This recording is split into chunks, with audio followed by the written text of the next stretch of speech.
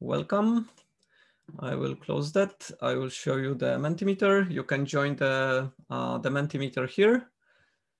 And we will talk about Golang.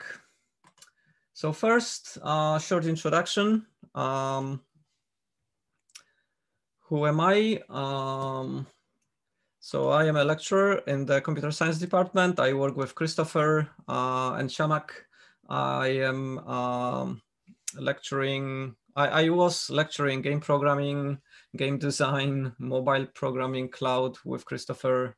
I've been lecturing quite a broad range of courses. I enjoy teaching programming a lot. So that's why I'm kind of offloading Christopher here. I'm also a researcher. I'm researching decentralized systems. I'm, I'm really interested in how uh, decentralized systems may change the way we organize ourselves as, as humans. Uh, so working with uh, blockchain and cryptocurrencies recently a lot. In the past, I was I was working with multi-agent systems and distributed systems. Um, quite interested in computer architectures and how modern processors and GPUs work also. And I'm a programmer. I'm kind of a keen doing programming and I, you know, I enjoy programming. So if I have some spare time, I like to do some coding or solve some coding puzzles and things like this. Um, so how about you? Um, can you uh, tell me in three words, who are you? How would you describe yourself?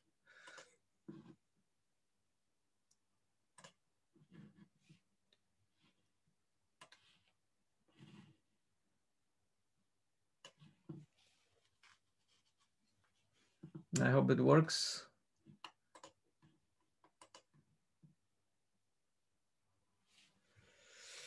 Yeah.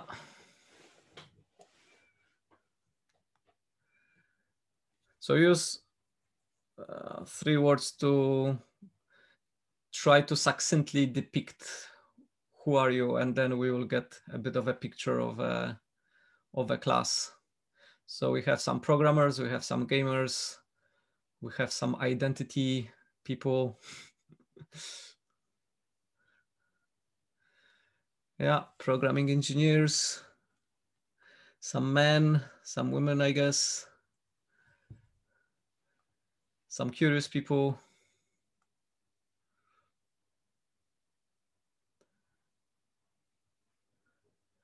Yeah, we have some women, good.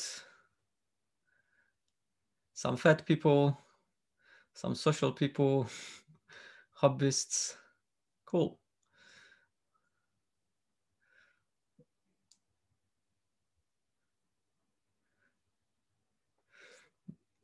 Yeah, gamers and programmers and students are kind of dominating.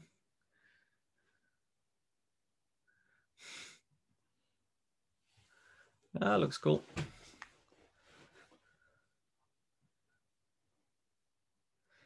Some skinny man.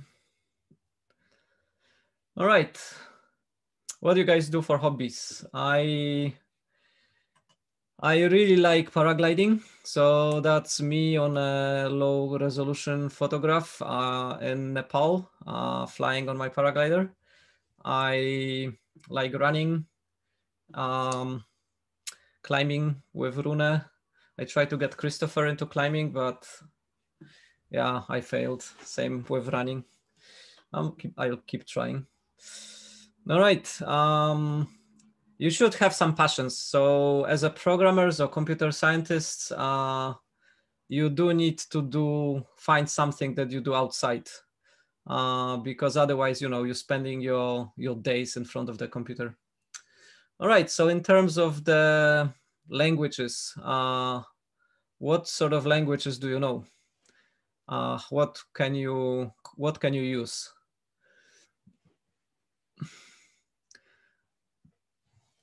Perfect. So it looks Go is very niche. We only have, you know, a very small number of people knowing it and using it. So it's great because that course is all about Golang um, I mean, not the course, but the, the, the this two weeks. you will use Golang for assignments as well.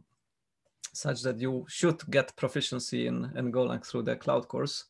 Um, yeah, we have a background in Python. That's probably Python and Java. It's probably the data engineer uh, stream. And we have kind of a large group from C++ world.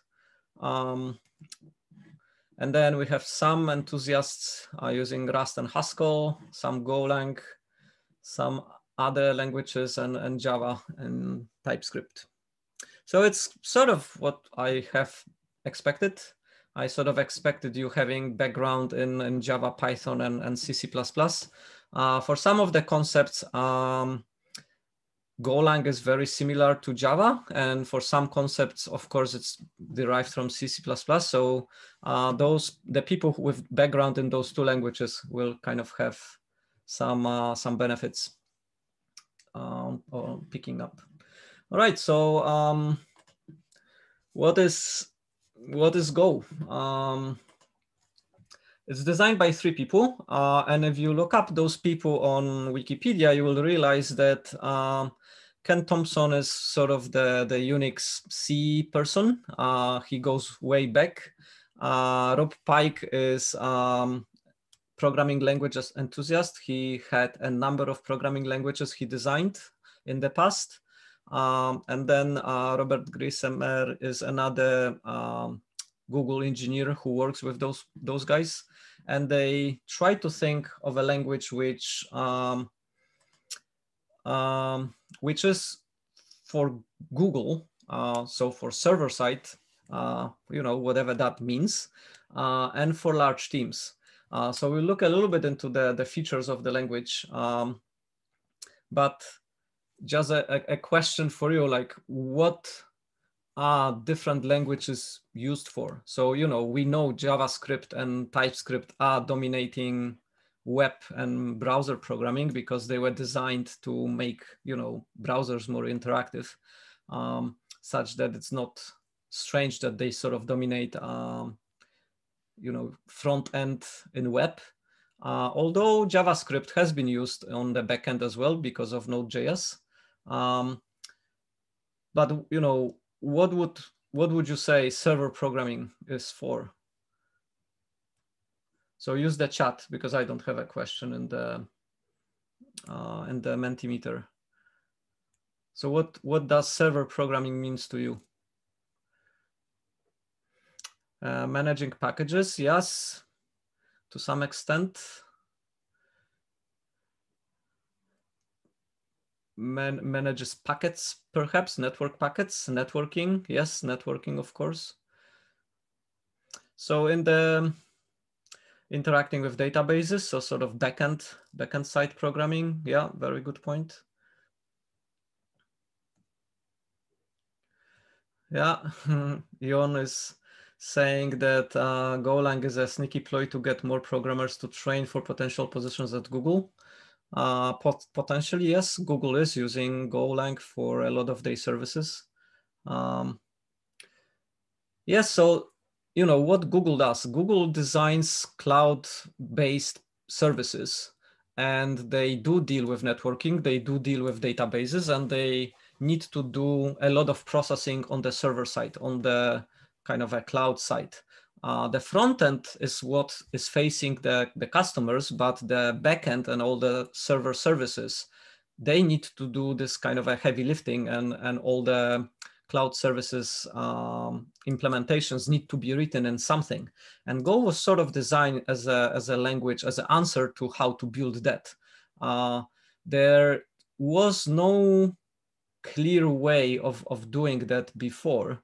Uh, because um, C++, you know, some of the uh, backend ser services and um, performance computing was done in C++ or, or C, uh, but it has certain problems. It is known, it, it's, you know, the C, C++ um, languages are quite heavy in, in terms of you have to spend some time learning them. Uh, you can't, you know, spend a week and be quite up to speed with the language. You need to get into it, uh, not to make mistakes and to get the feel of uh, what is the idiomatic way of using it. Uh, and you have to deal with memory and build times are quite large. So uh, Google was sort of trying to experiment with various languages on how to improve that. Um, and they kind of had certain objectives. Uh, and one of the objectives was that the language should be easy to pick up uh, by people such that you can idiomatically program in it, you know, in a couple of days.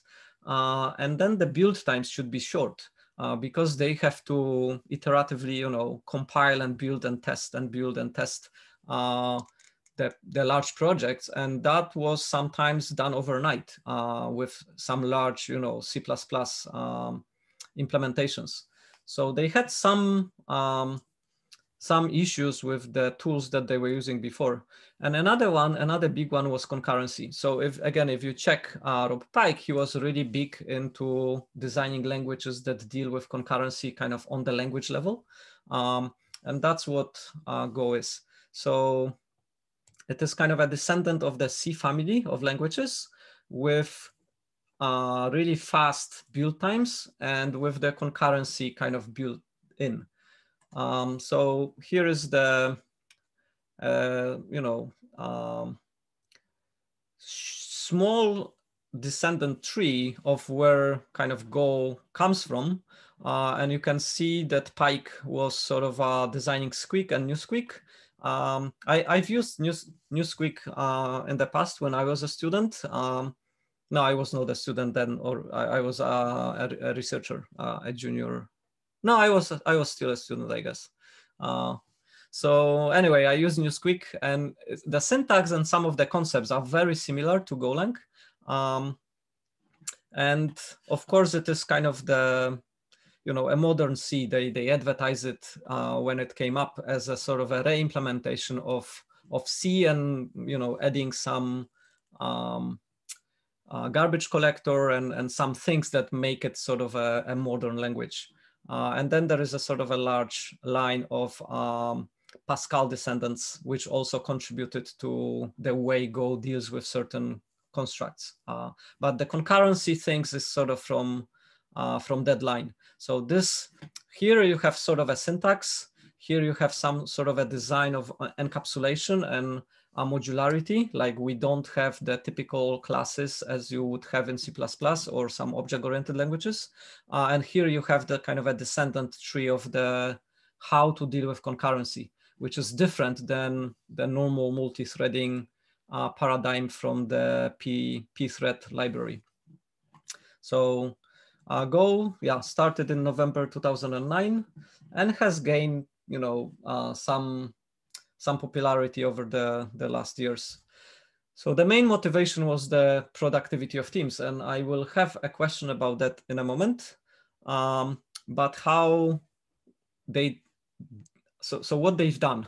Um, they've done a language which has a very rich uh, standard library. So everything to do with networking, everything to do with encryption, everything to do with JSON parsing, it's all in standard libraries. So tomorrow you will see once we start doing some uh, web services and some JSON parsing, that it's super easy. You don't need any de external dependencies. You don't need to deal with the you know uh, dependency nightmares uh, it's all part of the language and part of the standard library. So it makes certain typical use cases, such as building a, a web service, very easy. Um, I've built a lot of web services with Node.js and JavaScript in the past, and you always had to have dependencies uh, to do anything. Uh, and then the problem with dependencies is that they change, they migrate, and you have to keep maintaining it. So every couple of months, some libraries change, they become incompatible with some other libraries, and you have to update your entire system to keep up with security patches and, and things like, like that. Uh, here, once we build a, a web service, uh, which we did with Christopher, a couple of them, uh, it just works. Uh, year after year, you just recompile it and it works. Uh, you don't need to touch your source code. Um, and maintenance and uh, some of the things are kind of much simpler. So it has, you know, certain benefits. Um, you will also realize that if you're coming from C++ or from Rust, which is also pretty slow, uh, that build times for large projects are kind of amazing. So uh, Golang is, is really good to compile relatively large and multi um, depend uh, projects with, with large dependency trees. Uh, it has integrated toolchain.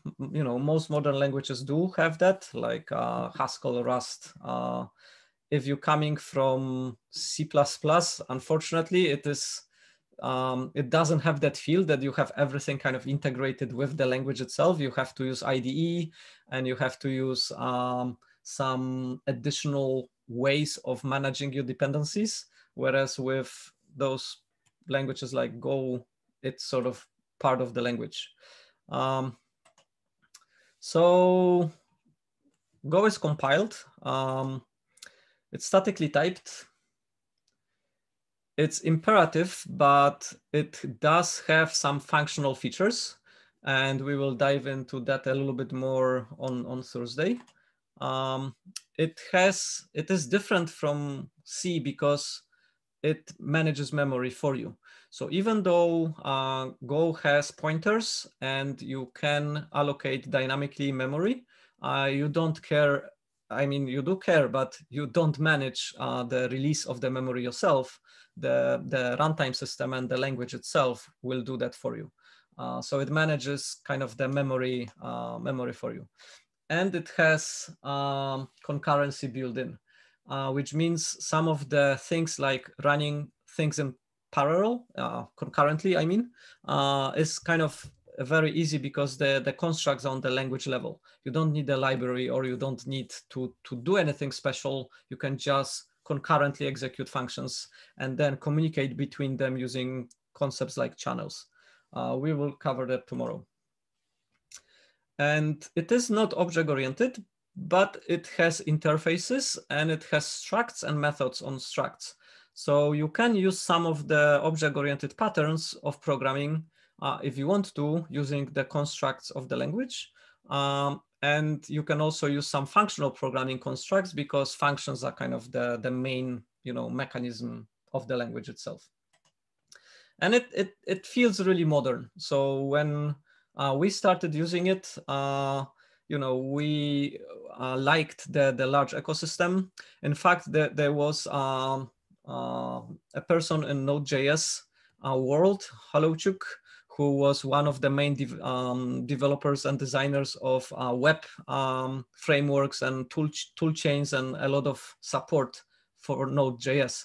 And he actually quit Node.js community and he joined um, Golang and he joined Google. Um, and Golang has a lot of very smart people working for the team, uh, such that, you know, of course, the language is criticized and it has um, a lot of uh, quirks that people don't like necessarily. I, I, don't like everything about Golang neither, uh, but it is very well designed and it, it has kind of a, a modern feel to, to itself and it's uh, super easy. So some aspects of the language which Google put itself up to achieve, I think they achieved really well.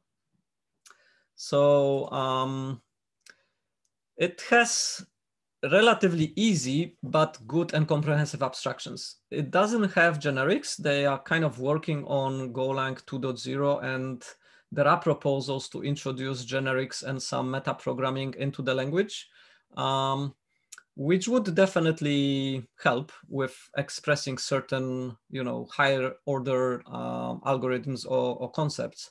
But as it is, uh, you do appreciate that it's very easy like in some languages, even with C++, if I haven't used C++ for a while and I have to do something, I have to look up what was the syntax or how to use certain things. With Golang, it's almost, I don't need to look up anything. Like it, it's so natural and uh, so small that it, it kind of comes back to you. So even if you didn't program in Golang for like half a year uh, and you come back, you can very quickly pick up and the, the syntax is simple and quite intuitive. Uh, so you can almost always kind of um, guess what it should be if you kind of forgot. Uh, so it's kind of an easy, easy language. Um, and it, it is kind of really easy for uh, maintenance as well. uh, because it enforces certain idiomatic way of coding. Uh, it for, uh, enforces the coding conventions also because it has a built-in linters and code formatters and all, all of that, uh, such that it, it is easy for, for kind of ongoing maintenance. And as I said, because of the large built-in standard libraries, you don't care about dependencies. Most of the things that you have to build, you don't need any external dependencies for. You can just build it with the uh, features of the language itself. Um, of course, if you're doing something very spe specialist in machine learning or computer vision or something like this, of course, you're gonna use some external dependencies because it doesn't have everything built in into standard libraries. But in terms of this course, in terms of the cloud and building uh, web services, um, most of the things that you will, need are in the standard library, uh, which is different to languages such as um, Rust, for example, which took slightly different philosophy and the standard library is very small and most of the things such as you know encryption and networking um, dealing with parsing of json and so on is done through additional libraries that you have to depend on. Uh, it has its benefits but it also has its kind of maintenance costs uh, because it kind of partitions your development. Um, and yeah, so I've I've um, mentioned that that it has kind of a tool tooling support. So you have uh, linters, you have uh, verification, code verification built in, you have uh, code formatting built in, you have documentation uh, generators built in, you have even some um, code analysis tools built in such that it will check if you uh, should fix certain things so there is a go fix. Uh, so it will suggest you some improvements into your kind of a coding patterns. And also there is a small concurrency check, which uh, warns you if you have a likelihood of uh, race conditions or if you kind of have some threads not closing when the program closes. So you, you have kind of um, all of that built in into a runtime system and into a language which makes it sort of an excellent choice for uh, for this course because you do need to build you know concurrent web services uh, for cloud. And you cannot be relying on a single threading solutions because you know you do need to be uh, interacting with multiple clients and accessing a database and you know uh, answering the network requests and things like this. Like you know concurrency is uh, a primary you know need in server-side programming. Um, so all those facilities make Golang kind of an excellent choice for trying things out. Um, I really like Golang for that, and I really like Golang for uh, building networking solutions, networking applications, and cloud services. Um, I like other languages as well, but if I have to do something like if I have to do a web service it is by far easiest in, in Golang. You, of course, you can do it in other languages as well. Uh, and you might be uh, keen to do that because, you know, maybe you more proficient in C++ or maybe your team is all proficient in C++ and whatever that the reason is. But um, Golang has a lot of advantages and it's super simple. Uh, such that if you don't know it, there is no excuse not to learn it and use it when it, it kind of fits. All right, so um, question for you. Uh, a, a, little bit abstractly, what do you think is the most important thing when you're picking a particular programming language or programming paradigm for a given problem?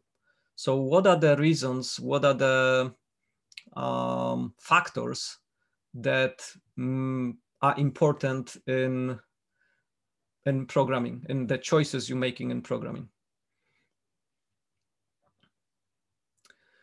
So fitting in the particular use case scenario, yes, efficiency, readability, uh, resource usage, it's sort of like efficiency as well, performance, efficiency, yes, readability, tooling support, yeah, what platform is supported, good, very good uh, answers.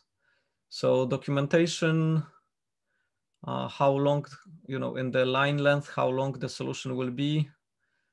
Succinct, shorter solutions sometimes are better. Um, ease of understanding, ergonomics, security, yes, uh, support, ease of development, ease of documentation, so ease of use generally. Um, yeah, perfect. So uh, those are really good, um, really good points. Um, I kind of grouped, yeah, the size of the solution. Um, yeah, open source, I don't have that one. So open source is one that I haven't uh, considered, but it's a good one also. Um, so some sometimes there is a preference of open source dependency versus you know a commercial lock-in with some commercial uh, provider. So apart from the open source, I kind of uh, grouped them into three things, and I think your your cloud, uh, your word cloud fits those three categories. Um, so one category is productivity. And what I mean by productivity here is uh, what you what you said. Um, yeah, uh, you know, productivity, is of documentation, is of development, whether it does the job, solving the task, um, those things, you know, documentation, those things I sort of consider a productivity, readability. Um, so this is kind of a broad, broadly speaking, productivity category. Uh, the second one is maintenance. So security, how easy is to introduce bugs, how hard is to introduce bugs, how long it takes to build. Like if you have to have a build cycle, like you do changes, you build, you check. You do changes, you build, you check. If that cycle is long, you you know your things kind of slow down. Your I, I call it maintenance. It, it is, they are overlapping, all right? Yeah, if, if you slow in building, then your productivity is a little bit uh, diminished as well. So it, uh, they are not perfectly separated, but uh, productivity is more how easy and how you know efficiently you can uh, do the um, do the task for yourself and for your team. Maintenance is all those extra things that you know some languages are really hard to do bugs in. Like if you get Haskell to compile, or Rust to compile, chances are it will run. It will not have bugs. Uh, JavaScript, on the other hand, always runs.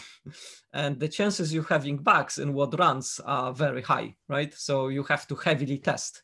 Uh, in some languages, you don't need to heavily test because the compiler and the, um, the tooling makes you make prevents you to make you know certain types of bugs. Um, so that's kind of the, the middle category. And then the final one is the performance, right? So it, you, you, mentioned that as well, how, how fast the solution is, how small or how big the executable is. Um, so the raw performance in terms of uh, what, um, what does the program do uh, in terms of um, metrics like speed or throughput or requests per second and so on. There are applications, for example, if you're working on a mobile device and you're interacting with the user, um, whether something takes 500 milliseconds or something takes 700 milliseconds or something takes 20 milliseconds, it doesn't matter. Uh, as long as kind of a sub-second interactivity with the user, uh, typically that's fine. If you have a mobile game, on the other hand, and the game starts lagging, uh, the experience is you know destroyed and the performance matters a lot. So the, the last one the performance is subject to the problem at hand. With some problems you do require the highest performance you can get. Uh, for most tasks you have to get sort of sufficient performance uh, the performance that fulfills the requirements but not more because doing more will cost you more and it's not needed, right? Um, and in some solutions, the performance is not needed, right? Um, So languages like you know JavaScript or Pascal, they kind of slow. Uh, performance is not their strong point. It's actually they, they are kind of crap, but the performance is not the main thing. Uh, many for many applications that utilize those languages, uh, flexibility, the ease of development is, but not performance. So you know the other tool sometimes trump the last one. Um, so you often have this sort of uh, arguments that yeah i'm coding everything in c++ because it's the fastest um, true uh, it's the often the fastest executable uh, by smaller or larger margin compared to alternatives but it makes you probably less productive here and maybe it makes it harder for maintenance and introduces more bugs and so on, right? So maybe there are some trade-offs. the answer is never simple. Uh, the answer is always a little bit multidimensional. So you, you do need to consider all those dimensions. Um, the argument which programming language to choose or what paradigm to choose is not never really trivial. Um, it, it, it has to go and balance some of the conflicting objectives. Sometimes the performance is crucial. Like, you know, if you're making a database system or making a, a web service which should serve millions of people, uh, you know, uh, milliseconds differences make a huge difference in the number of resources you need to serve the requests and how many users per seconds can you, you know, uh, serve. So but then you know you do you do need to open up for the possibility that there are alternative objectives that are at work here. Uh, and I think the cloud, your, your kind of word cloud covered though, those three. Uh, I didn't have the, uh, the open source versus proprietary software argument here, but it is, uh, it is important in, in many cases too. I agree. All right, so um, let's go a little bit about the um, tooling. So I do have um, uh, I do have um, well. So let's let me first um, go to last year uh, project. Um, such that I can show you some of those things. So if I go, yeah, like hello world and I open the source file and I mess up the formatting. So I have kind of a formatted code uh, following all the conventions, uh, but I can kind of uh, make it a little bit untidy. And then if I show you the code, it kind of looks untidy. So if I say go format, uh, and go format has um, a couple of flags. So dash S kind of simplifies the code and dash W basically writes the, the modification back to the file. So if I run it without anything for the current folder, it will say, look, uh, you have some issues. You, you should reformat your code and it dumps the reformatted Golang source code, uh, source file into the standard output. But if I use uh, the flag, so if I say, okay, simplify the code, and dump it into the file that you're analyzing, then it will not output anything to the screen, but it will effectively uh, modify the, the file to the one the it, it should look like, right? So now if we um, if we look at the source file, it, it is it introduces those kind of uh, lines. It uh, use the tabs to move the lines uh, to be aligned properly, and it generally kind of fix some of the little things that it needed to, to fix, right? So Go format is your friend. It's included in most of the IDEs and it will be formatting your code. So don't fight with it. Like let it format the code as it should and then just follow the, the conventions, right? Uh, you will notice that uh, Golang is using, let, let me clear that clutter a little bit and cut it again. So Golang is using kind of the bracket conventions.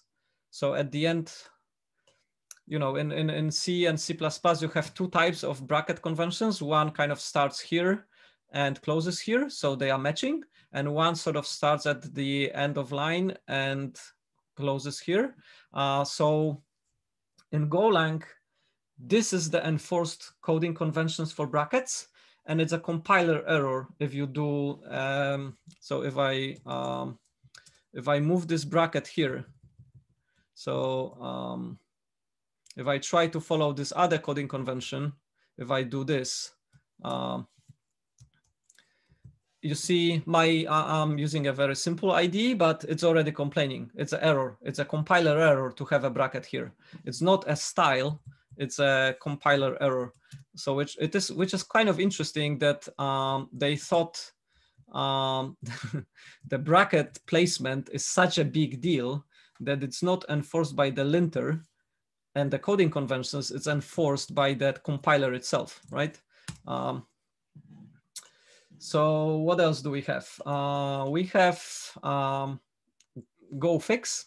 Uh, you know, with this simple program, I don't have any problems. So Go fix is not gonna fix anything, but you can run Go fix on your projects and it will kind of suggest some simplifications and some things to make things easier um, and more readable. And again, it's kind of integrated with most IDEs and it, the IDE will kind of use the Go fix to, to help you. Of course, you have linters, uh, but um, I am not using the, um, the extension tool uh, linter which comes with Golang. I'm using the um, more comprehensive Golang CI lint runner. Uh, and you can, uh, you will find the resources in the, uh, in the course. What is lint? Uh, good question. So if you have your source code, for example, like this. Uh, there are certain elements of the source code that are here. So for example, you have the, the package, which is on the top of the file. You have your imports, um, and then you have your documentation, so comments about the functions or methods that you have. And then you have the source code itself with some statements and the placement of the brackets, the, the placement of those brackets, uh, whether you have space here or here or not. Um, all of those elements kind of form kind of a coding style and, and coding conventions. And the linter is a tool that enforces certain coding conventions and certain documentation style and certain way of structuring your source code. Uh, so um, we use lint for C++ and C. We use lint for most programming environments, such as to enforce certain st standards for source code, right? Uh, it is it depends. So some linters are configurable and you can enforce certain standards which are for the team. Uh, certain things like, for example, in Golang are enforced by the language itself, such that you have to follow the standards, you cannot vary them. Um, and in the past, when we were using, for example, Java, there was a, uh, originally Sun Microsystems and then subsequently Oracle designed standard, which was for coding in Java. And then you have a certain set of rules which you can instruct your linter and then um, the, the linter for Java was kind of enforcing that. Uh, most IDEs, most the integrated development environments that you use will have this type of lint built in and they usually kind of highlight some issues as a, as a warning saying oh yeah you should fix this or you should reorder this or you should put documentation because you're missing and so on. So for example in golang it's it's kind of it's not enforced by the language, but it's enforced by the linter that you should have documentation for functions and the documentation for functions should start with the name of the function as the first word of the documentation, such that if I didn't have this documentation here uh, for the publicly export function, uh, the linter would complain. And also if I didn't have this uh, first uh, word here um, the linter should complain as well that I'm not following the, the, the standard. That's right. So uh, lint helps a lot when you're collaborating with others. Lint helps at all a, a, a, lot with your own projects to make it consistent across your code base, to have the same kind of coding conventions and coding standards. And it unifies the readability and the ability to maintain somebody else's code because it is kind of checked and it conforms to a agreed set of rules, right? Right, so lint is a big deal. You will use lint in this course. Uh, we do enforce certain rules and certain uh, linter rules, and we do check it. So if your code that you submit for your assignments has some linter warnings or errors, yes, that's a problem, right? You should not have that you should not have the, the problems. And of course, the Go doc, which generates the documentation. Many programming languages have the built-in uh, documentation. You know, you have in C, C++, you have Doxygen, uh, and then in Haskell, you have Haddock. In, in Go, you have GoDoc, and, and so on. So it's the same with Java. You have JavaDoc. Uh, there are certain like markers and certain conventions of how you write comments. And then based on that, the the runtime system generates the documentation for your project. So those are the um, the built-in. Let me. Yeah. So um, Golang also has a built-in testing framework such that you can easily write unit tests uh, in Golang and you don't need an external library. So for example, in Java, you have to use JUnit to do unit tests. Um, in C++, you need, um, you know, uh, CUnit. Uh, and then you, um, in some other programming languages, you do need to have an external dependency on testing. In, in Golang, it's kind of built in. So the unit testing library is built in, and then you have a com command which is go test which runs the tests and uh, tells you uh, if they all passed. And also you can check what is the test coverage. We, we will cover that uh, next week. So I will show you some of the tests and how you calculate test coverage. And we expect you to report what is the test coverage of some of your solutions that you will submit as your assignments and the same for the project. Um, it is a good practice to have a target. You know it's unrealistic to always expect that you have 100% test coverage. That's you know un unrealistic and undesirable. Uh, but when you're de developing a project you have certain quality metrics and one of those quality metrics might be that you set yourself a target to have 60% of your code base covered by tests. And you pick you know, the most important 60%, and then using kind of a go test and cover, uh, you can measure uh, which parts of your code base are tested and what is your overall test coverage and what are the elements of your of your code base which are not tested such that maybe you need to write additional tests for that because you consider those parts important right so that that's kind of built in and it's quite useful and the ecosystem is growing. So there are more uh, Go tools which are useful. And um, for example, with Linter, the, with this one, you have kind of a, a, really large number of different tools that, for example, measure the cyclomatic complexity of your methods or your functions, or measure some other characteristics of your source code. And then based on that, you can kind of make some decisions or some adjustments. Um, so, you know, cyclomatic complexity is like how complex your, your functions are. If you have a lot of nested if statements, they are mentally difficult to read and maintain. And then the cyclomatic complexity metric kind of reports a kind of a high number for those methods or for those functions, such that it suggests that maybe you need to rewrite it in sort of a simpler way. Uh, maybe there is no simpler way. Maybe the way you've coded it is the only way to efficiently or effectively code it, but maybe it isn't. So those additional metrics kind of help you to make your code of a higher quality. All right, what do we use for programming in Go? Um, it's up to you. Uh, as the course was suggesting, you can use, um, so if you go to let me go to, oh, sorry, no, wrong browser. Um, if you go to JetBrains, um, you will see that they have a kind of a speci specialized uh, tool for um, Golang, which is called GoLand. So GoLand is um, is a special purpose IDE uh, for developing and uh, running Go.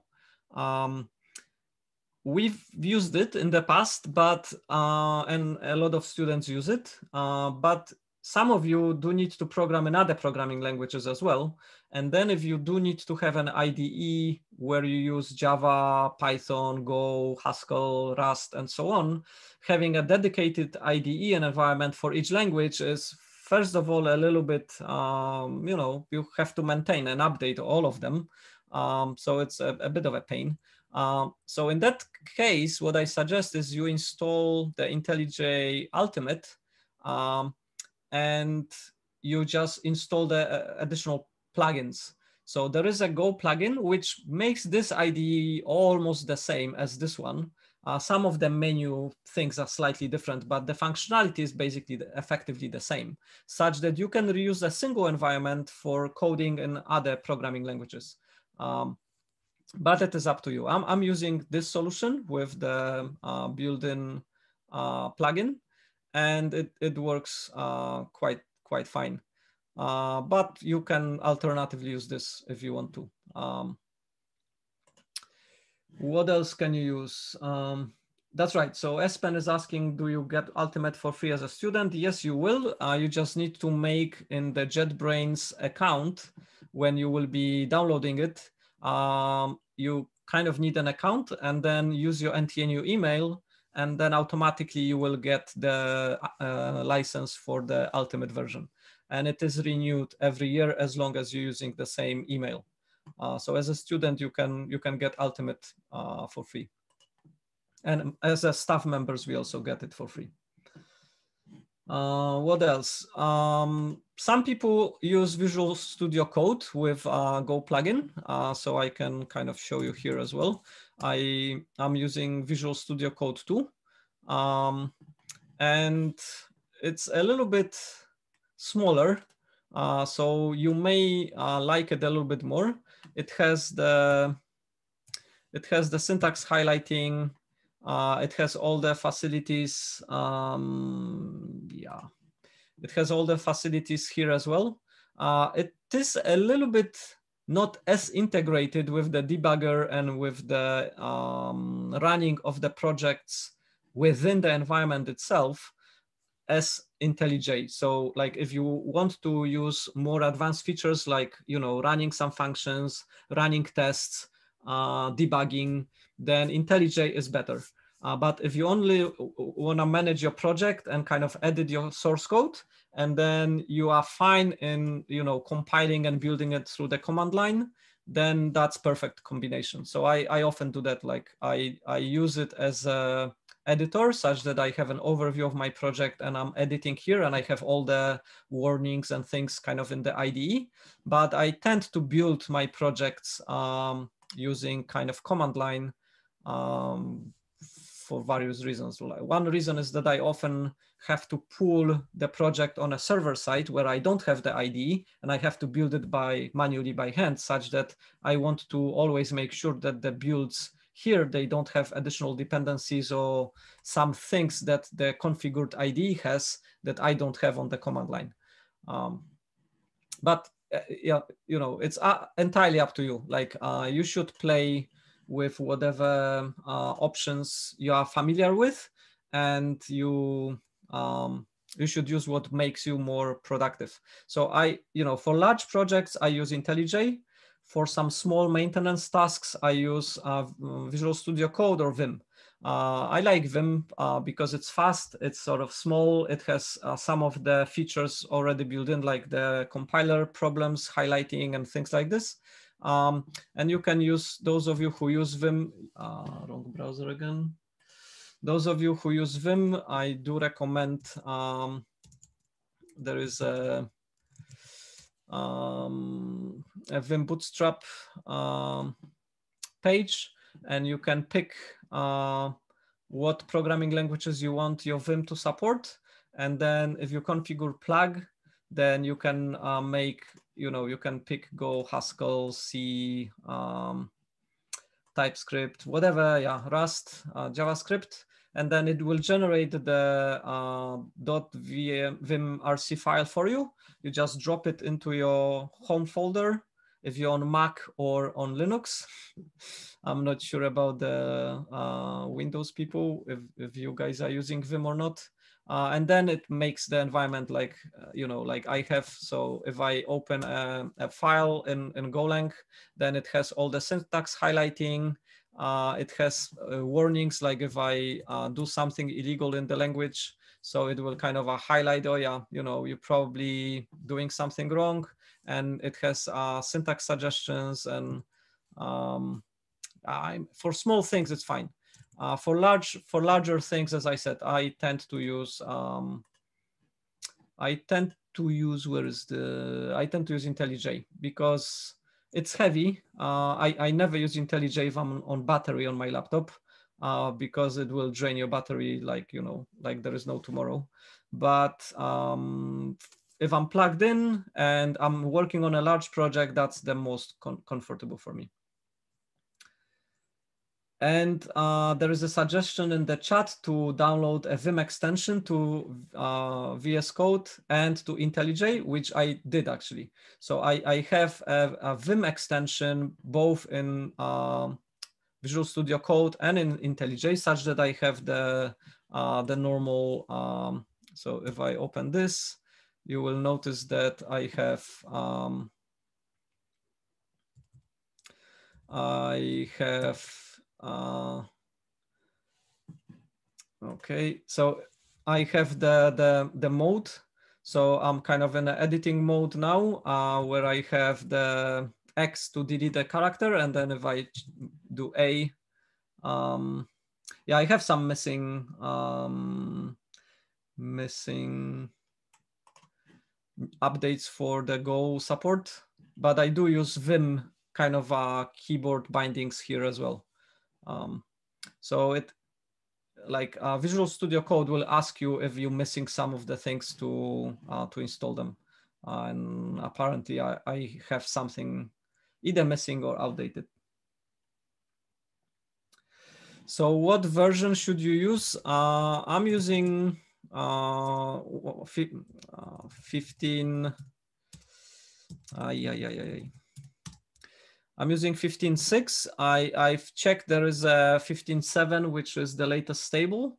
Um, you can use the um, the 16 beta, but we're not gonna use any of the new features from the language, I don't think, in this course. So you can stick to either 15.6 or 15.7 should be fine. Um, we're using some of the new error features from 15 such that you should not use anything older, but uh, 15.6, 15.7 should be fine. Um, all right, so let me close this. Uh, yeah, you can save this.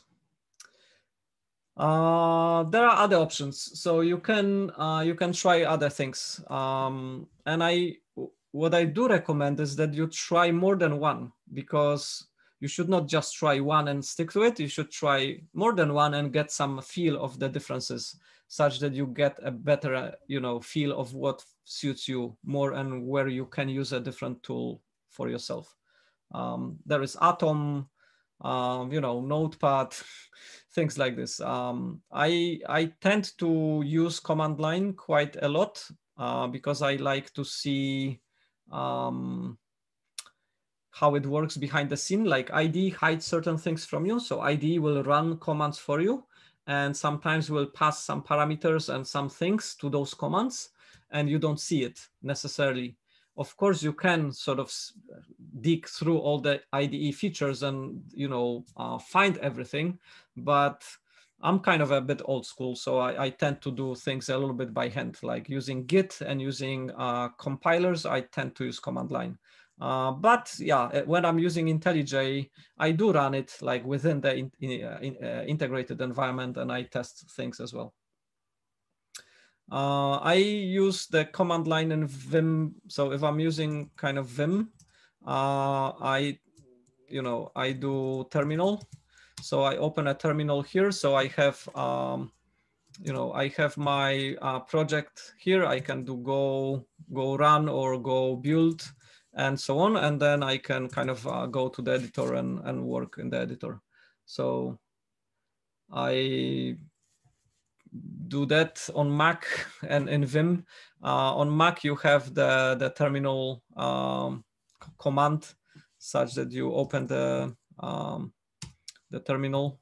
Um, depends what operating system you're using. If you're using, um, so let me close that. If you're using Linux, uh, you have uh, various options. Yeah, command on Windows will do, yes.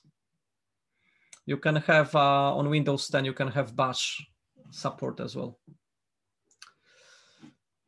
So you, you kind of vary, you have different backgrounds. Uh, those of you who are more on the programming kind of side of the spectrum, I think you should use something that has command line support and something that you are comfortable because you will be spending some time on Linux and on the server logged in uh, such that being comfortable with using command line is, is a skill that you will need. Uh, some of you might be coming more from like a game um, background and looking into kind of a game industry, then well, you will be using IDEs, you will be using Unity, you will be using kind of integrated development environments, and you may not need to deal with command line that much. Uh, some of you kind of come from DevOps and more sort of um, um, full stack development. And then, yes, of course, you will have to deal with database. You will have to deal with uh, a lot of activities in the command line. So, and Christopher has um, some modules in the in the cloud course to get you up to speed with Bash and with the Linux command line. So you can do most of your development on Linux actually because you can um, uh, run the tools like you can run your ID on Windows, commit your, your stuff into Git through Git to, to the repositories, and then actually build and deploy on, um, on the Linux or you know a virtual machine uh, through the command line. Uh, there is one really neat trick. So for example, um, in Go, if I like I have this hello world, right? So if I say go run, uh, it will um, So if I say go build command main, it's a multi um, package. Um, I do have some problems here with the, let me try something. Right, so I've built, um,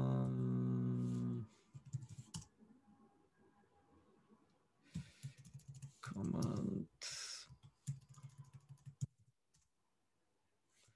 Right, so I've built the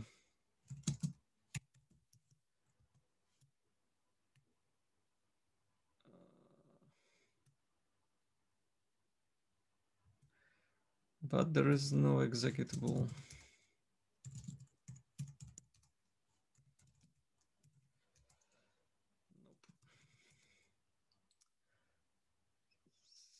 Ah, yeah, yeah, yeah. All right. So I know what the problem is. So let me redo it. So if I go go build command um, hello world, I was using main.go, but I don't have that that file. So that's what the problem was. Uh, so now if I list it, I have my executable. And by default, uh, go build builds it for the platform that I'm on, right? So if I kind of now run it, I will it will print hello world uh, to in the console, right? But I'm on Mac, right? So if I check what file format it, it is, so if I check uh, what that file is, it says it's a 64-bit uh, Mac executable, uh, right? Um, but uh, what you may want, you may want to build it on Linux. Uh, and Go runtime system and the compiler has the cross-compiling toolchain already built in, such that you can uh, you can build um, you can build for other platforms. I think I have to. Um, I might need to do that. Um, I'm using fish and with that one, yeah, let me just quickly check. Go build help.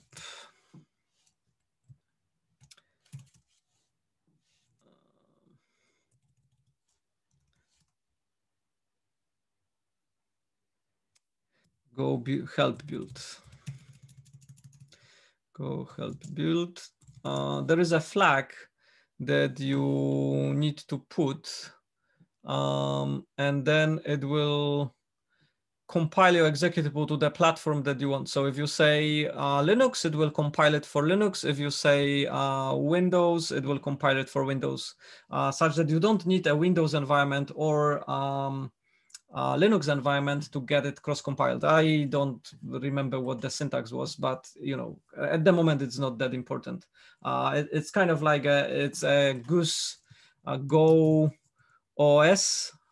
Um, yeah, so maybe that's the way I need to call it. So if I, yeah, that's the, so I, I had it in the history of the commands that I use. So um, I'm using kind of like a, uh, bash extension, which is called fish, and it changes the way you handle the environmental variables.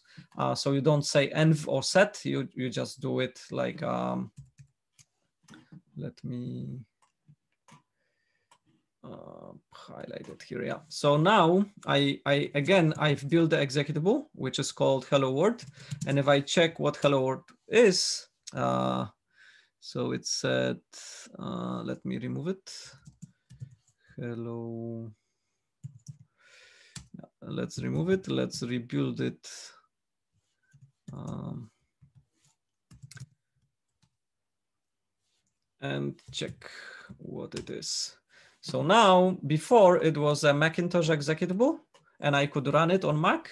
And now I have a Linux ELF 64-bit executable, statically linked, excellent. Everything is in the single package and I cannot run it anymore, right? It will say, well, you, wait a minute, you're on Mac, you cannot run Linux executables.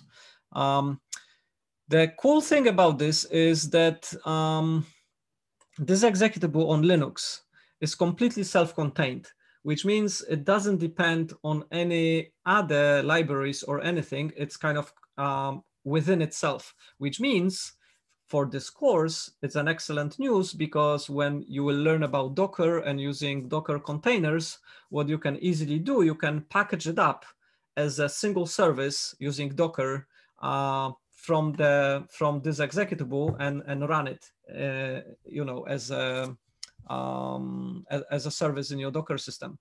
Uh, so Golang is quite neat because you can really easily build some web services, which you then use a very tiny um, Linux image uh, from Docker and kind of package it up into a self-contained single uh, single service. So you can kind of uh, do um, kind of a service-oriented architecture and architect your project and such uh, in, in those kind of a tiny executables. And as you see, it's not like, yeah, okay, hello world is not doing much. So it's actually pretty much doing nothing, but it is um, about um, two megs, which is the entire runtime system for the um, for for Go, right? Docker was written in Golang, by the way, as well. All right, so let's move on um, because I'm kind of um, di digressing too much. So question for you. Uh, how are you gonna learn a new programming language? What are the strategies, the things that you can do to learn, to teach yourself a new programming language? Trial and error? I don't think so. I mean, yes, you can, but that's sort of a, a very inefficient way uh, of, of doing it. So learn by doing, yeah. Um, so uh, let me, um, yeah, so let, let's go through that. So uh, try and error, error, writing FizzBuzz, um, those are okay, but not the most efficient. Uh, Stack Overflow, that tends to be okay, but if you don't know about the language yet at all, it's very hard for you to distinguish Stack Overflow answers which are really bad and not idiomatic in the language and answers which are very good and idiomatic in the language, okay? So you will realize that Stack Overflow has kind of a spectrum of answers and some of them are really shit and some of them are really good. And when you're learning a new language, you can't really distinguish which one is which. So Stack Overflow at the very beginning is not the best because you may learn things that are wrong, that you should not do, uh, because you just happen to find an answer which is kind of shit. So if you have an answer which is very highly upvoted uh, and it doesn't have an answer further down, which is not as highly upvoted and says, yeah, that should be the correct answer, then typically you can consider, yeah, maybe that's a good answer. But if you have some small answers which are not very, you know, well vetted, I would, you know, consider a caution uh, with Stack Overflow. Uh, learn the basics and experiment, sure. Uh, repetition, sure. Um, yeah, recreate programs that you've made in other languages. That's an excellent point. So that's uh, how I learn programming languages too. I just have some programs that I've done in one of them or two of them, and then I re redo them in new one. Um, YouTube tutorials are, are, fine. So YouTube is mentioned. Um, although I, I, have a note on that. Um, comparing to other languages sometimes is useful. So for example, for Go, it's useful, uh, although it's useful to know where those languages differ. Uh, we will come back to that. Um, Codecademy is very good. Read documentation is very good. Pair programming is very good. Uh, yeah, making yourself a pet project is excellent.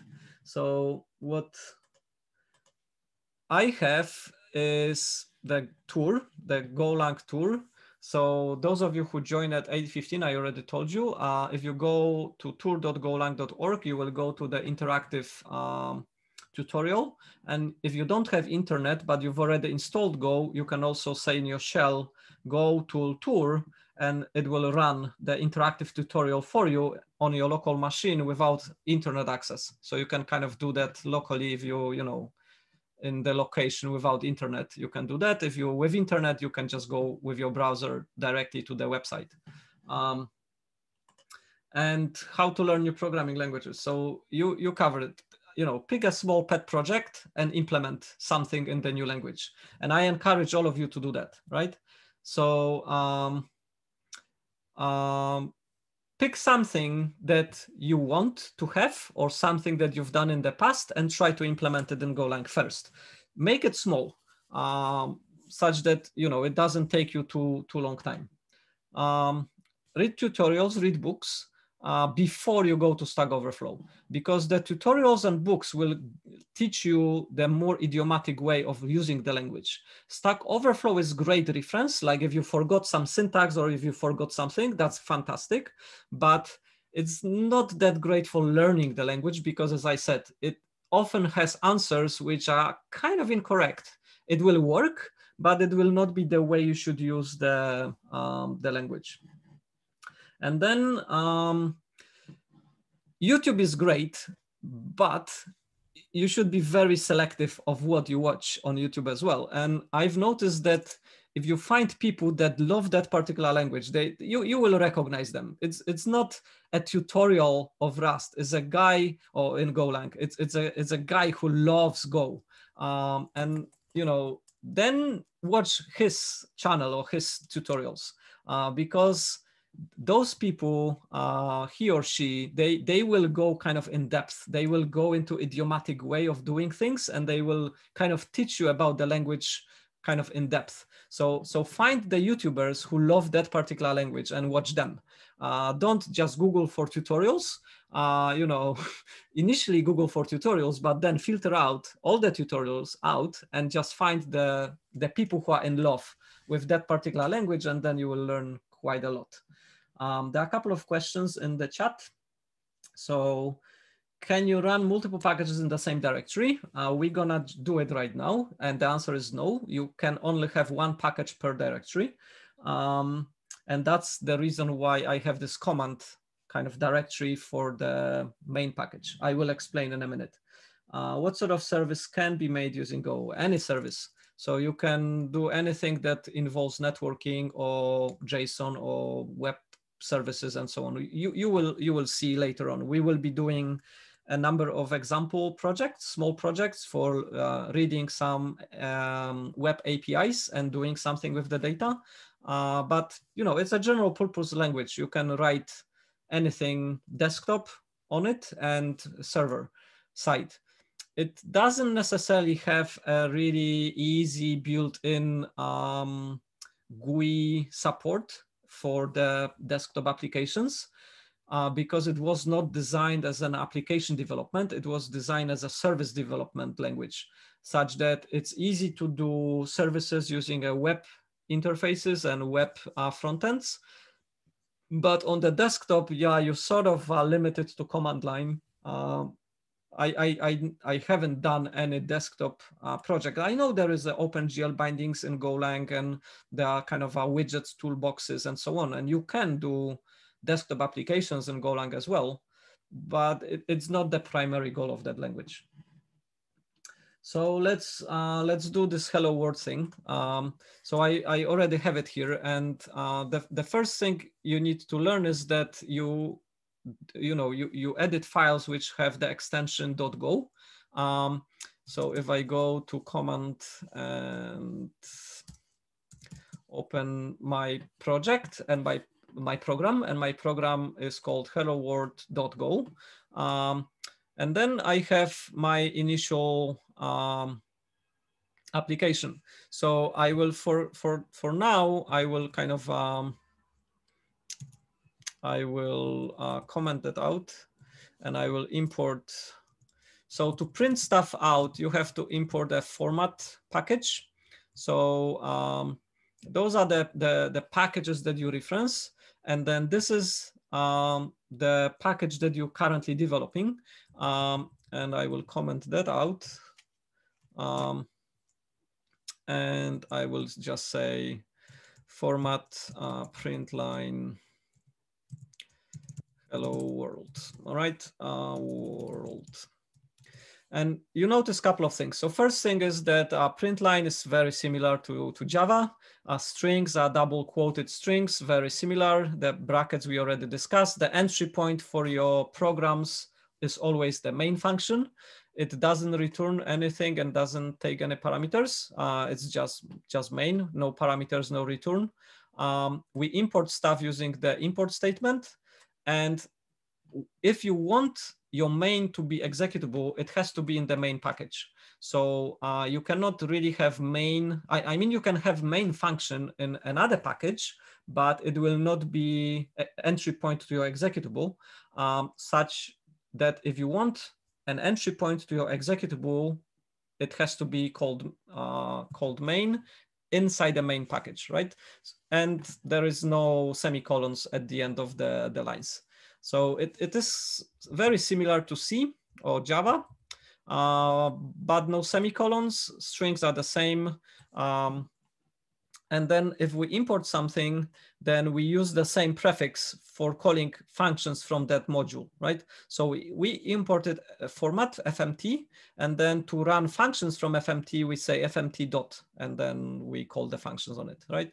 So if I uh, save it, and now if I say go build uh, hello world.go, in this folder that I am in, in here, it's uh, generated the executable for me and I can run it, right? So that's all nice. And I'm kind of inside a single folder and I have inside that single folder, I have one package. Um, what if I want to create, a, so I will copy, I will not type it because I, unfortunately, I have that called hello world as well. So I will call it uh, utils.go. So now I am here.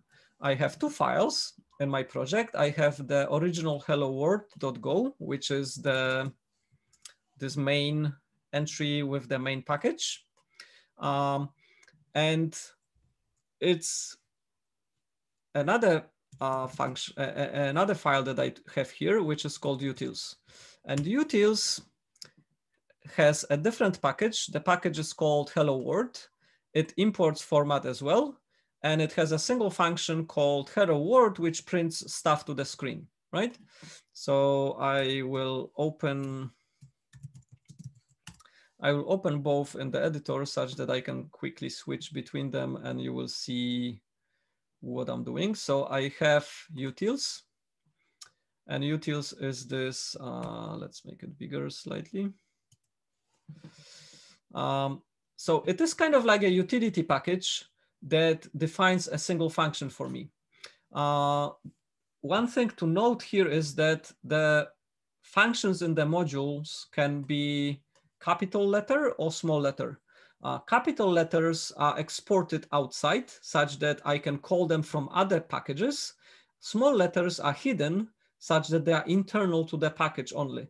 So you can differentiate what is your public API and what is your private API by just convention of naming your functions with capital or small letters. So for example, you can see that in the format module um, or format package, I have um, a capital P because P is exported away such that I can use it from a different a different package, right? Uh, and then I, so that's in my utils. And then in hello world go, I have main function and I have a package package main, right? Um, and you will notice that um, the um, you know the, the Go complaints. Okay, so if I uh, rename like now I want to import uh, hello world and I don't want to import um, format anymore and I want to call hello world um, function. So I'm um, like, before I was importing format and calling print line. Now from my own module, I want to import that function. And here it kind of looks as it, as it works okay-ish, uh, but here it complains. And the reason why it complains is because I have a single folder um, and I have two source files and one is from the package main and one is from the package hello world. And you cannot have that. Um, in single folder, you can only have stuff from a single package. So everything in a single folder has to be the same package. Um, it, you, you cannot mix multiple packages, right? So because of that, I can I cannot have this. So what, yeah, so I will remove the utils um, and I will remove the executable. So now what I have is I have a single for, I remove the Visual Studio crap as well. I will close that before I remove this. Okay, so now I have a single file, which is in, in my package main, and it has to live in a different folder than my utils library, right? So what I will do is I will keep um, I will keep my executable by convention. Um, we tend to have projects which have command and the command um, stores all the executable packages which are called main. So everything in command will be in the package main.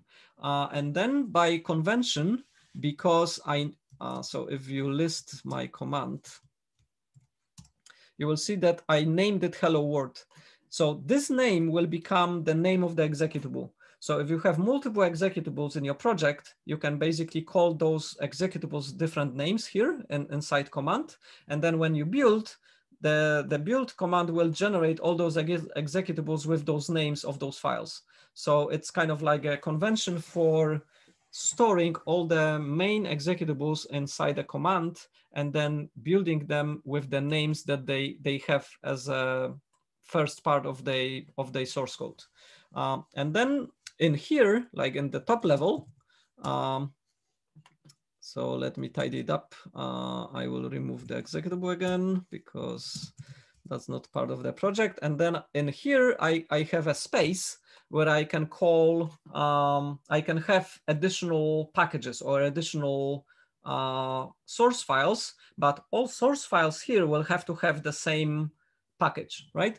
So I have a source file called hello world again, which is kind of the same name as, as my command, but this name is because I have some, um, I, I kind of named my package hello world, right? That's so trivial that you know, the package name and the source file name are the same, but I could have multiple files here and they all, if they all live in a hello world package, they, that, that would be fine, right?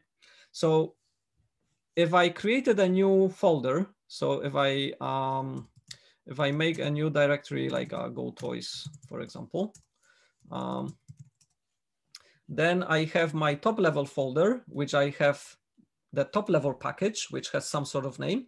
And then in here, I would have some other package that would have kind of a Go Toys name. And then the, the files which come here would be in the package, which would be called Go Toys. Uh, so those conventions are kind of enforced by, by Golang. It may feel a little bit um, confusing, but it's kind of like in Java. Uh, so you, you know, you have folder structure, which forms kind of a, a namespace for your packages. And then just to make the executable, because executable require everything to be in the main package, we group them into the command folder. And then everything here would be just main. Um, there is, th this kind of covers the concept of packages and there is a concept of module and module is a collection of packages. So all of this my Go Toys, my Hello World, and my commands packages, like you know, three packages, they form a single module. And then you initialize the module by saying go mod init, uh, and then you give it a name, like what module is it, right? Uh, I could call it toys, or I could call it hello world, or I could call it whatever I want, and that would become the name of the module. And then modules are the unit which gets um, exported or imported. So it's a kind of the, the, um, the unit that gets distributed as a dependency. So it, it forms either a system or a library and we kind of talk about dependencies on modules, right? So um, there is a version of the module, there is a um, dependency tree of what this module uses, what modules it uses and so on.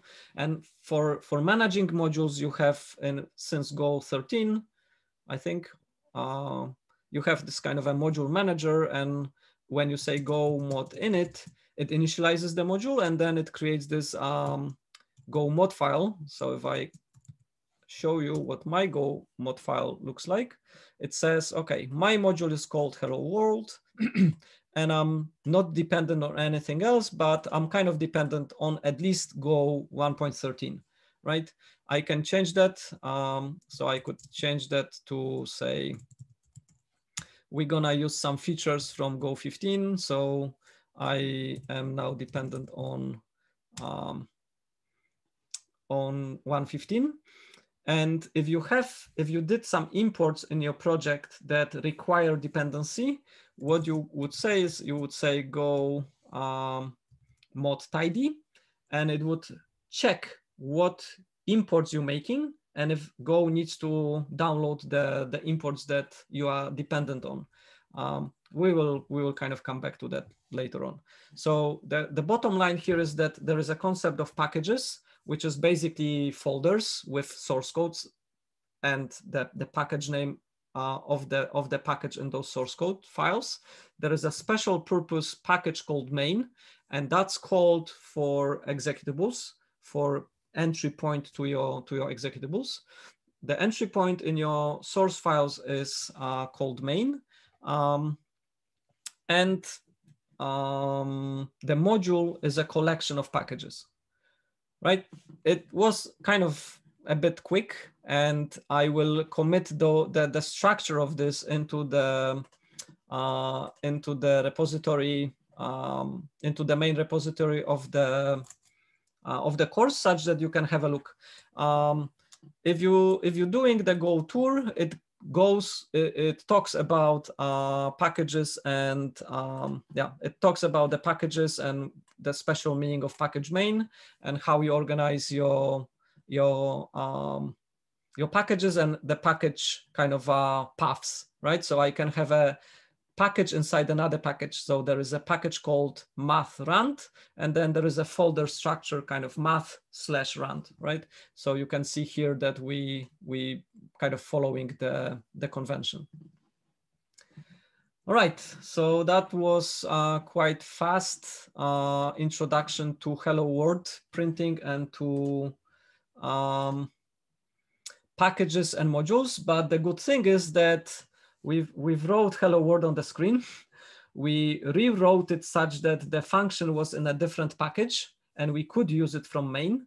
And also we, we've done it such that the, um, uh, the function was its own module, uh, its own package, right? So the next step would be if you exported this module, the hello world module, and used it in another module, right? Uh, for that, you need a, another top level folder and you would have a dependency on an external module.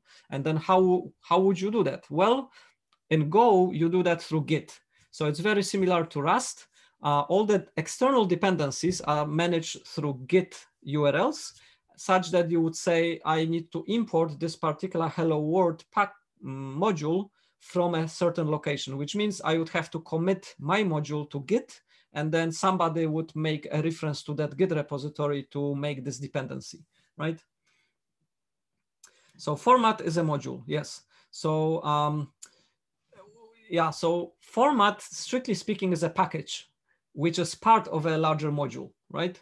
Uh, because as you see here, um, so uh, let me vim hello world.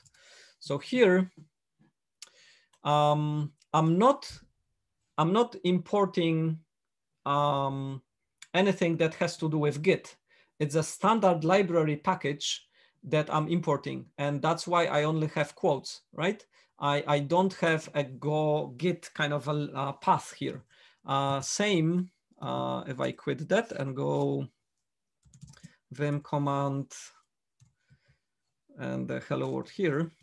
Same here, I'm, I'm importing a package, uh, hello world, because it lives in the same module I'm in. So it is kind of treated as part of the standard library because I'm in a module called, I called it hello world, confusingly enough. Uh, but in that hello world module, I have a package which is called hello world. And here I'm uh, importing a package, not a module. Uh, if, um, yeah, so let me kill that. And if I go to, for example, rest hello, and let me see, uh, cut main. No, those are all, uh, let me just find a more complex um, yeah, that, that will be, so if I vim main.go, ah, that one also doesn't have any imports which are external. Uh, th those are all packages. Um, I, I, don't have an example. I will prepare an example for tomorrow where I, I am importing a module. So to answer Avet, a format is a package, not a module. Um, all right, so we are running out of time. I have um, I have a couple of more slides. Uh, so I will kind of quickly use another two minutes to run through that, uh, such that I can close this um, this Mentimeter session. Um, I literally have uh, four more slides. So um, you can do object-oriented programming in um, in Golang. And for that, uh, we will do some examples tomorrow, but we will use structs, methods, and interfaces. Um, they are very similar to, uh, to Java. Um, so there is a question, does every Go file has an entry point in a form of main? No. So you can have, you, you can only have entry point in a form of function main in the package main such that in your other packages, you will not have a main function because uh, main can only be, be in the main package. Um, and all the other packages will not have an entry point, right? They will be used by something that has an entry point, but they will not have an entry point in itself. Um, right, so coming back to object-oriented patterns, uh, we will I will show you tomorrow some of those things. Um, and interfaces are very similar to the concept of an interface in Java uh, and, and, some other programming languages. So you, you basically have a, a, method signature, which defines what type of methods can be called on something, uh, but you don't have the implementation. The implementation comes with the type that, that, that implements that interface, okay? So here is a, a kind of um, a quick example of an interface called, called geometry, which has a single method called area, which returns a, a high precision float. Um, and then we have a struct, uh, which is a rectangle. We have a struct, which is a circle. And then we have the area, which is the geometry interface implemented for rect and for circle. I will talk a little bit more in, in details tomorrow about this. The, the concept here is that we can use structs and interfaces to implement something similar to object-oriented programming. And we don't need to declare that this particular struct implements this interface. It is kind of a de facto implementing that interface because it has this method. So if something implements the methods that you want in a particular interface, you can cast it to that interface uh, you don't have to say that Circle implements this interface. You just implement the, the methods of a particular interface and then Circle magically will be castable to that type, right? So it is different than in Java because in Java you have to be explicit. You have to say my type Circle implements that interface. And if you don't say it, but it has some methods of, of this interface, it will not be castable to that, to that interface, right? So it makes some things more dynamic, but it is still strictly typed language. Like the, the type system will infer uh, that circle is castable to, to that particular interface. All right, and then um, there is, uh, you know, um, functions. So um, we we did, you know, played with functions already, uh, and like in the previous uh, um, um, diagram or code listing, you, you know, functions are declared with a, a word func, and then there is a, a, name of the function, parameter list, and return types. We will do a little bit more tomorrow. And for this particular functions, we have this weird thing here, which is a type specifying kind of a particular uh, struct. So this is a notation for methods on that struct. Um, so we have functions which don't have it at all, like we had with the um, with the main, right? So we have um, we have a func main uh, that doesn't take any parameters and doesn't return anything, and you know you have a body uh, of the method or of the function. You could have a function which is like f. So function name is f. It takes a single integer and returns an integer and you could say, you know, uh, return 10. So this function f is called f takes integer returns integer. And here you have just one extra notation, which is there is a, a, a function area which actually operates on this particular struct. Uh, and we call those methods because when you do that, then if, if I have like, so if I have, for example, um, a person type person here, and I said there is f on the type um, p, which is uh, reference to person, uh, then what I can do later on, I can say, uh, if I have a p as a reference to person, I can say pf and call it with the integer, right? And that's why it's called a method because I'm calling this function on behalf of a particular struct. Um, so that's all. Uh, we gonna cover more on functions tomorrow, uh, and we will. Um, uh, there is a question: Can you implement multiple structs inside a method? So no, you can't. You have to implement methods on behalf of the struct. So it's uh, you know, for this struct, I have this method, and for this struct, I have this method, and they just happen to have the same name, and they just happen to be the same name as my interface, which means my rect, which is my uh, rect struct, and my circle struct will be both geometry, right? So I can kind of cast um, cast them to geometry and called print area on rects and on circles, right? Uh, so this method takes geometry instances and the instance can be either rect or a struct because they both implement the geometry interface. Uh, and the print area basically calls geometry G area, which calls the method on the G, which in this case is either R or C, right? So you cannot reuse the, the method uh, because it is specific to that particular struct. Like those struct ha have different um, fields. So the implementation of this method for rect obviously has to be different than the implementation of this method for circle. Um, and to complicate things, there is no inheritance, neither, right? So if it happened that uh, circle also has um, you know uh, x y coordinates same as the origin of rect we could we, we can do it tomorrow. Then i cannot really inherit um, in the circle from rect but we we we will cover it tomorrow. Any other questions? I'm kind of yeah um, i apologize that i ran out of uh, time. I was uh, ranting too much but i was almost almost on time All right, so homework for you, um, go to um, Go Tour and kind of familiarize yourself a little bit with the, with the syntax and with some basic structures and basic constructs of, of Go.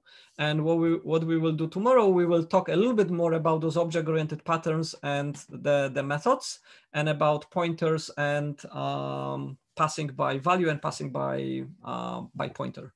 Um, so that's all. If you have questions, I am still here. If you have um, no questions, uh, thank you very much. That's all for today, and you can you can go. And I will stop recording, and the video of the lecture will be posted into the cloud course uh, class, and I will um, and I will also put the Mentimeter link there with the slides. Yes, there is a possibility for asking questions if, if you want to. So I will stop the, the video and uh, you can ask questions and I, I will be still here.